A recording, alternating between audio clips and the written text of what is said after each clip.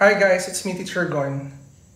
In today's video, we will do the part 2 of dividing polynomials using long division.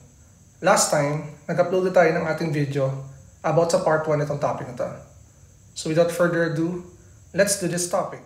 We have the problem divide negative 13x squared plus 4x cubed plus 2x minus 7 over x squared plus 3x minus 2. But before tayo mag-start ng ating long division, meron lang tayong kailangan i-ayusin dito because in dividing polynomials using long division, dapat ang iyong divisor ay naka-arrange ng standard form or ng maayos. Uh, what I mean is that dapat nasa unang term yung leading coefficient o yung term with the highest exponent of the variable. Itong 4x cube dapat nandito sa unahan. So, i-rate lang natin yung ating problem. You have 4x cubed minus 13x squared plus 2x minus 7 over x squared plus 3x minus 2. So, pwede natin ngayon iset up yung ating long division. So, you have here your divisor, x squared plus 3x minus 2. Sa loob naman, ilagay natin yung inyong dividend na 4x cubed minus 13x squared plus 2x minus 7. So ready na tayo mag-start ng ating long division. We need to divide the the leading leading terms of the dividend and divisor. So divide natin yung 4x cubed at x squared. So you have 4x cubed divided by x squared. So ang sagot natin dito ay 4x. So dito natin nilagay yung 4x natin dito. Then after that, itong 4x natin is i-multiply naman natin dito. Sir, bakit? Remember, when doing long division, ito yung, yung cycle na kailangan natin gawin. You need to divide, multiply, at subtract. So, we're done dividing. So, ang gagawin natin ngayon ay yung pag-multiply naman itong 4x to be multiplied sa lahat ng terms dito. Isa-isa. So 4x times x squared, it will give you 4x cubed. then after that, 4x times 3x, that will give you plus 12x squared. Then 4x times negative 2, that will give you minus 8x. So after natin mag-divide, ay mag-multiply, ang gagawin naman natin susunod ay mag-subtract. So we need to subtract it.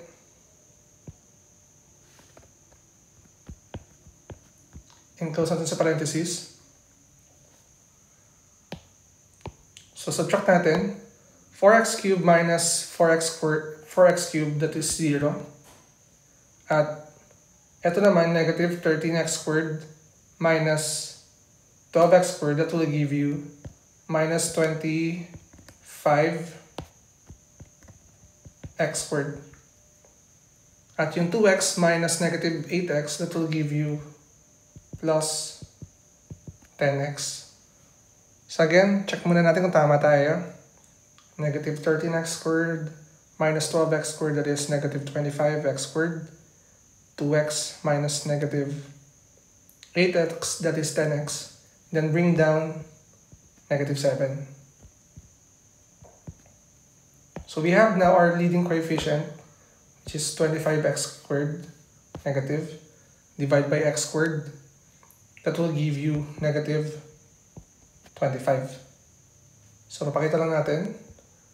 Negative 25x squared divided by x squared. Cancel na to kaya negative 25. And after that, to negative 25, i-multiply natin dito isa-isa. So you have negative 25 times x squared that is negative 25x squared. Then after that, negative 25 times 3x, that will give you minus 75x. And then negative 25 times negative 2, that is plus 50. So subtract lang natin. Negative 25 minus negative 25x squared, that is 0. 10x minus negative 75 it will give you plus 85x.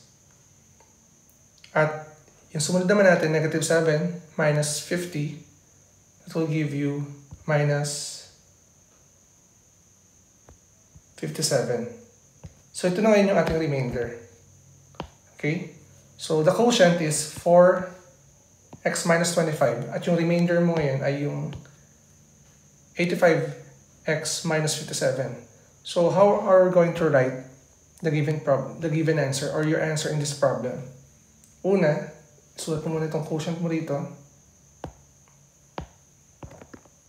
So you have 4x minus 25.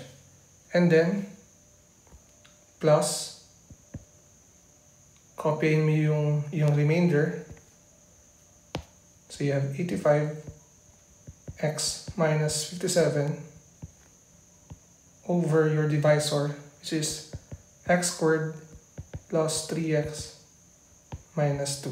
This is the correct answer for our example.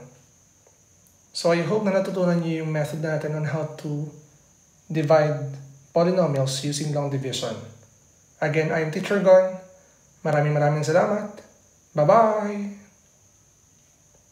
Hi guys, you can also like and follow our Facebook page which is named as Math Teacher Gone. We're uploading this for our followers on Facebook so I hope na ma-follow nyo rin at makita o kaya ma-visit ang ating page. So right now, uh, we have we have 14,000 followers and likers of this page and I hope na makasama namin kayo sa page na to. God bless.